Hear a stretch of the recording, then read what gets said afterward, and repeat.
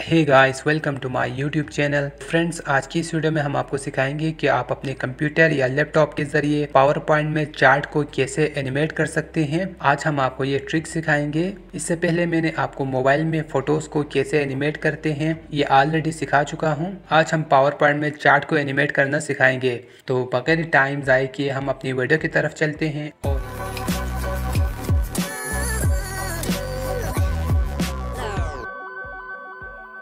और यहाँ से मैं अपना माइक्रोसॉफ्ट पावर पॉइंट ओपन करता हूँ।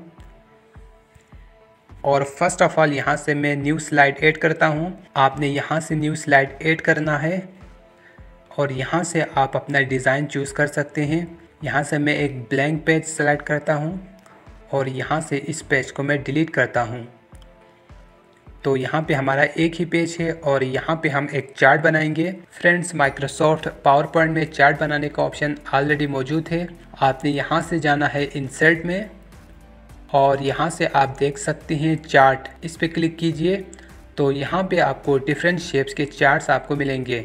यहाँ से आप कॉलम चार्ट देख सकते हैं, यहाँ से आप लाइन चार्ट देख सकते हैं और इससे नीचे भी आप देख सकते हैं पाई बार एरिया डिफरेंट किस्म के चार्ट्स आपको यहाँ पे मिलेंगे। यहाँ से हम कॉलम पे वर्क करेंगे और यहाँ से मैं ये वाला कॉलम सेलेक्ट करता हूँ और यहाँ से आपने इसको ओके करना है। फ्रेंड्स यहाँ पे आप देख सकते हैं, यहाँ पे कुछ डेटा है और इन डेटास का चार्ट यहाँ पे ऑलरेडी बना हुआ है। तो अगर आप चाहे तो यहाँ से इसमें चेंजिंग कर सकते हैं। फॉर एग्ज़ाम्पल यहाँ से मैं ये कैटेगरी फोर में थोड़ा सा चेंजिंग करता हूँ। यहाँ से ये वाला है कैटेगरी फोर तो यहाँ से मैं इसको करता हूँ सिक्स और यहाँ से मैं इसको क्लोज़ करता हूँ। तो यहाँ पे आप देख सकते हैं, इस चार्ट का साइज़ बढ़ चुका है। यहाँ से हमने इस डेटा में इंक्रीज़ किया था और यहाँ से मैं इसको क्लोज़ करता हूँ। और उसके बाद अगर आप चाहें तो यहाँ से इसका शेप भी चेंज कर सकते हैं। आप यहाँ पे देख सकते हैं। यहाँ से मुझे ये वाला ही बेस्ट लग रहा है तो मैं इसी को रहने देता हूँ। और उसके बाद आपने इसको एनिमेट कैसे करना है, उसके लिए आप आ जाइए यहाँ से एनिमेशंस में।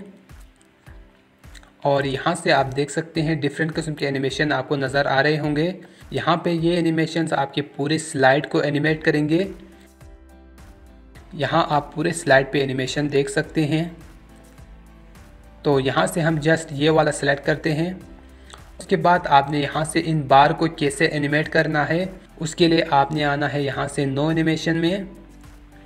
और यहाँ पे आपको डिफरेंट किस्म के एनिमेशन के ऑप्शंस मिलेंगे। यहाँ से हम कुछ सेलेक्ट करते हैं फॉर एग्ज़ाम्पल तो यहाँ से आपको कुछ इस तरह से नज़र आएँगे।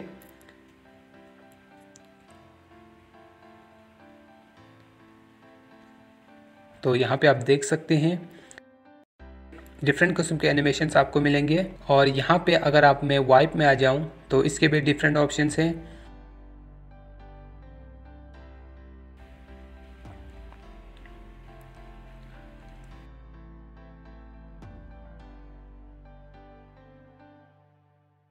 तो यहाँ पे आप डिफरेंट किस्म के एनिमेशन देख सकते हैं। जो यहाँ पे मुझे पसंद है, वो यहाँ पे आप देख सकते हैं फ्लाई इन है और यहाँ पे आप देख सकते हैं बाई सीरीज़ मुझे ये काफ़ी पसंद है। तो ये कुछ इस तरह से वर्क करेंगे और यहाँ से आपने इसको सेव करना है। यहाँ पे आप देख सकते हैं सेव एस करके आप सेव कर सकते हैं। फ्रेंड्स, इस तरह करके आप भी अपने माइक्रोसॉफ्ट पावर पॉइंट में चार्ट को एनिमेट कर सकते हैं। तो ये थी आज की वीडियो उम्मीद करते हैं ये वीडियो आपको पसंद आई होगी। और अगर आपको इस तरह की मजीद वीडियोस चाहिए तो आप मुझे कमेंट में लिख सकते हैं। Thank you best of luck